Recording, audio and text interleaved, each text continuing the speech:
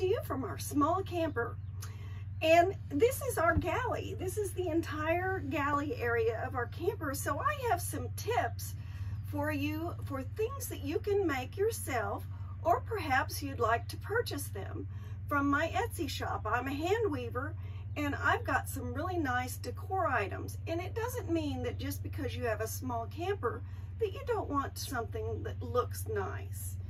And one of the nice things about ordering or about making your own is that you can get the size and the color that you want. In my shop, you can order a size, a specific size to fit your camper and the color that fits your color scheme.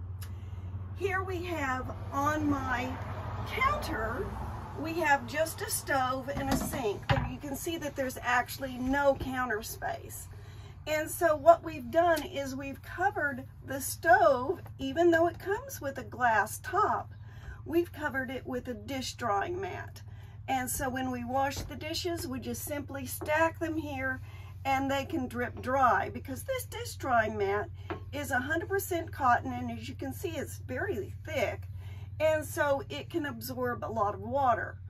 In our particular case, our stove has a uh, glass top that can be folded up when, when you're using your stove. And so it has this crack here.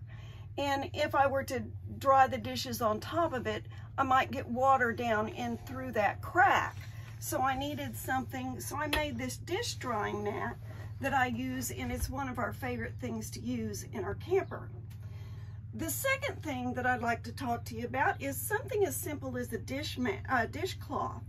Now, in a camper with a limited space, you'll need a nice dishcloth that's absorbent because you're going to have some spills and you want to clean them up. And this dishcloth is made with rug cotton, so it's kind of a, a thicker uh, type of cotton, same thing as this and it's woven in a pattern that has some texture to it so you can use it to get all those little bits of, of food left in your in your uh, dishes.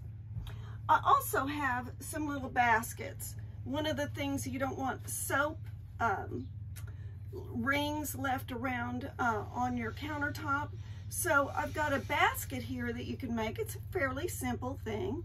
And it's got a liner that is um, water resistant and all you need to do is just wipe it clean. Here's another one. You could put uh, your coffee pods in it um, or creamer or sugar in it and just simply store it or when it's not in use. All of these cloth ones you can see they, they uh, roll up pretty easily when not in use. And that's another thing. When you're storing these things away, you need to have, um, they need to be flexible so that they can um, be stored away easily. Here's the last thing I want to show you. It's a good old tea towel. This one's a little smaller. I've got some larger ones, but you can see that a tea towel is, is definitely a must around uh, your kitchen area. And this one is 100% cotton. I would highly recommend that when you buy a tea towel, you look at the fiber content to see if it's not polycotton because polycotton is made with plastic. It's polymer. And so plastic doesn't doesn't absorb water. So that part of the thread that's made of that poly is not going to absorb as much water as 100% cotton uh, tea towel would.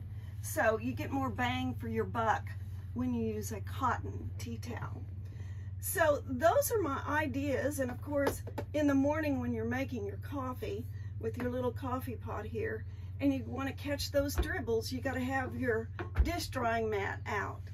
And uh, if you're looking at dish drying mats, make sure it does have that water absorbency feature so that you don't have water going all over because you can see it doesn't take too long before it gets off on my sofa.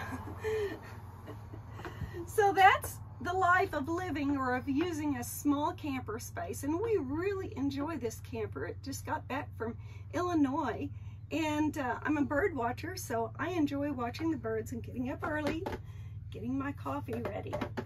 So we'll talk to you later. And if you have any questions, you can look at our shop and see all the hand woven items that we have available for sale because you'll be surprised what a hand weaver can do.